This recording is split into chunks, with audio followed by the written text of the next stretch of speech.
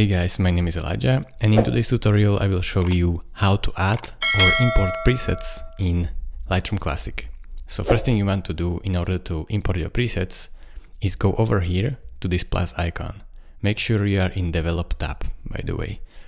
Click on this plus icon and here on import presets. Now find your presets in your folders. In my case I have already found them, they are here. And then if you want to all in these folders, click on Command and A or Control A if you are on Windows. And it will select all of them and then click import right here. It will import your presets and as you can see SK presets 1, they are here and I have all these presets available now in my Lightroom Classic.